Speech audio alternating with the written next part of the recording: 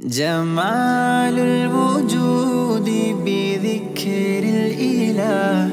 وتصفو الحياة بنور هدى وتطرب نفس له طاعة وتبلغ سعد إلى منتهى